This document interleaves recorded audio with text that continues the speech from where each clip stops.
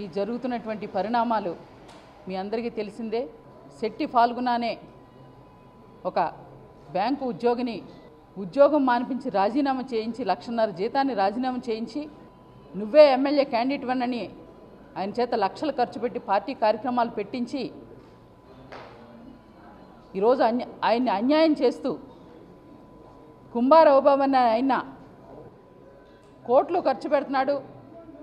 Party fund ఇస్తున్నాడని ఒక కారణంతో ప్రతిపక్ష నాయకుడు కుంభారోబాబుని ఎమ్మెల్యేగా చెయ్యాలని చెప్పినటువంటి వైనంలోనే ఈ జరుగుతున్న పరిణామాలు మీ అందరికీ తెలిసిందే. మరి అంత అవమానం భరించలేక మానసిక శోభతో ఈరోజు నన్ను నమ్ముకున్నటువంటి ప్రజలకి నన్ను నమ్ముకున్నటువంటి కేడర్కి మా గిరిజన ప్రాంతాల అభివృద్ధికి ఈరోజు జగన్ గారు ఇచ్చిన మాటని తప్పుతున్నటువంటి వైనంలోనే తెలుగుదేశం పార్టీకి నేను మద్దతు తెలిపాను. కానీ ఈరోజు సాక్షి పేపర్లో కానీ టీవీల్లో చూపిస్తున్నటువంటి ఛానల్ని నేను పూర్తిగా ఖండిస్తున్నాను. ఎందుకంటే నిన్నకు నిన్న పేపర్లో పాతి కోట్లని రాశారు. ఎప్పుడైతే గట్టిగా నిరూపించండి అని చెప్పేటప్పటికల్లా ఈరోజు కొత్త రాగం పట్టారు. అలాగే రేపు ఇంకేం కొత్త రాగం పడతారు? నిజంగా నేను చాలా చాలా ఆవేదన పొందుతున్నాను. నిన్న నేను పడ్డ కష్టం మీకు తెలియలేదా? నా త్యాగాలు మీకు గుర్తు రాలేదా? మా గిరిజన గ్రామాలలో గ్రామ గ్రామాన్ని సందర్శించి మా ప్రజల బాగోగుల్ని సమస్యల పట్ల స్పందించింది మీకు గుర్తు రాలేదని అని చెప్పి ఈ సందర్భంగా వాళ్ళని ప్రశ్నిస్తున్నాను. నేను ఒకటే చెప్తున్నా ఏదైతే బాధపడుతున్నానో ఇంకా ఒక గిరిజన మహిళగా నన్ను ఇంకా మీరు బాధపడేటటువంటి పరిస్థితులు తీసుకొస్తున్నందుకు ఖచ్చితంగా వ్యక్తిగతంగా నా వ్యక్తిత్వాన్ని హననం చేస్తున్నటువంటి ఈ క్రమంలో నేను ఖచ్చితంగా జగన్ గారి మీద ఎస్సీ ఎస్టీ అట్రాసిటీ కేసు పెట్టబోతున్నానని చెప్పి సందర్భంగా తెలియజేస్తున్నాను. అలాగే సాక్షి ఛానల్ కానీ సాక్షి టీవీ కానీ ఈరోజు నన్ను బద్నాం చేసేటటువంటి మీరు కార్యక్రమాలు చేస్తున్నారు. ఖచ్చితంగా దాని మీద కూడా నేను పోరాటం సాగిస్తాను. నేను ఒకటి మిమ్మల్ని అడగదలుచుకున్నాను. ఇంతకీ జగన్ గారు ఎందుకు పార్టీ పెట్టారు?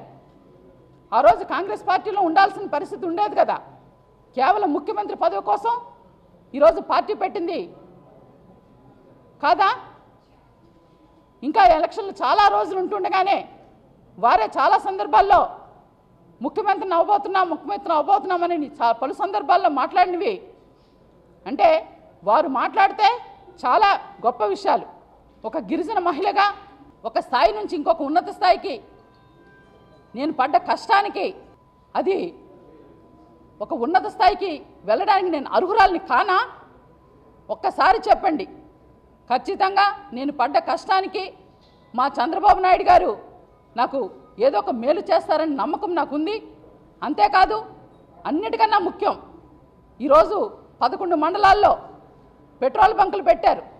మామూలుగా మారుమూల ప్రాంతాల్లో పెట్రోల్ సీసాలతో అమ్ముకునేటటువంటి పరిస్థితి. ఈరోజు ప్రతి మండలంలో ఒక పెట్రోల్ బంక్ పెట్టారు. అలా గ్యాస్ ఏజెన్సీలు పెట్టినారు ప్రతి వాళ్ళకి కూడా గ్యాస్ కనెక్షన్స్ ఇస్తున్నారు. అంతేకాదు రోడ్లు మేము గత అసెంబ్లీలో మాట్లాడినప్పుడు రోడ్ల గురించి కానీ వాటర్ గురించి కానీ సప్లై నిధుల నుంచి కేటాయించాలని గట్టిగా మేము అడిగినప్పుడు ఈరోజు వందల కోట్ల రూపాయలు ము- ముఖ్యంగా నా నియోజకవర్గానికి ఎక్కువ రోడ్లని నీటిని కేటాయించినటువంటి పరిస్థితి ఉంది. మరి ఇవన్నీ మా గిరిజన ప్రాంతాల అభివృద్ధి చెందడం.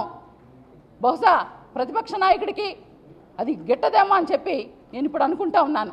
ఖచ్చితంగా మా ప్రజల కోసం మా ప్రాంతాల అభివృద్ధి కోసం చంద్రబాబు నాయుడు గారు చేస్తున్నటువంటి ఈ అభివృద్ధి పదంలో నేను వారికి మద్దతు ఇస్తూ ఖచ్చితంగా మా ప్రాంత ప్రజల అభివృద్ధిని ఒక ఎమ్మెల్యేగా నేను గ్రామాల్ని అభివృద్ధి చేస్తానని కూడా ఈ సందర్భంగా మీకు నేను తెలియజేస్తున్నాను. ఈ వీడియో మీకు నచ్చినట్లయితే లైక్ ఆర్ కామెంట్ చేయండి. మా ఛానల్ సబ్స్క్రైబ్ చేసుకోండి.